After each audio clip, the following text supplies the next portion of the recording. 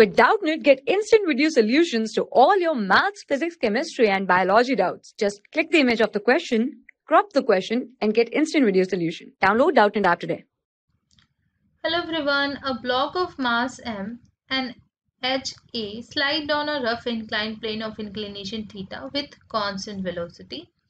You have to find out the torque of normal force on the block about its center. What is the magnitude of that torque? So let's see. Let's suppose this is the inclined plane. And inclination is given here is theta. And on this is inclined plane a block of mass m is kept. And this block is sliding with uniform velocity. Right? So since the block is sliding with uniform velocity it means that the acceleration of the block along the incline is zero. So net force along the inclined plane should be 0. So along the inclined plane component of mg is mg sine theta. And uh, the friction force here is F. So we'll write here mg sine theta is equals to the friction force right? In the question it is asked that what is the magnitude of the torque of normal force about its center? So if you see the center, there is no torque of any force about the center, right? So if I draw the block, so the friction force is acting here.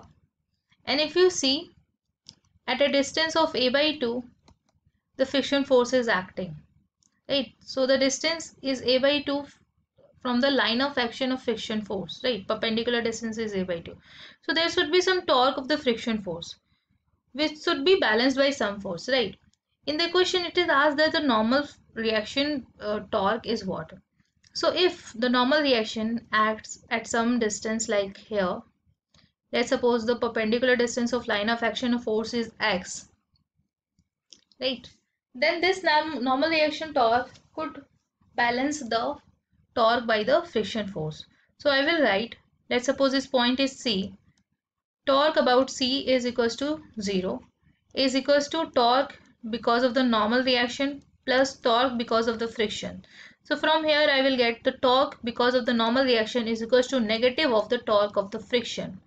And now in the question you can see already the torque because of the friction is F into A by 2 since the line of action of friction force is at a distance of A by 2 from the center of mass of the cube.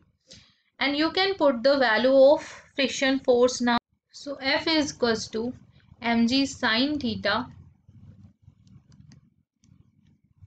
into A by 2. This will be the torque because of the normal reaction about the center of mass.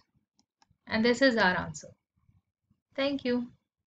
For class 6 to 12, IIT JEE and NEET level. Trusted by more than 5 crore students. Download Doubtnut App today.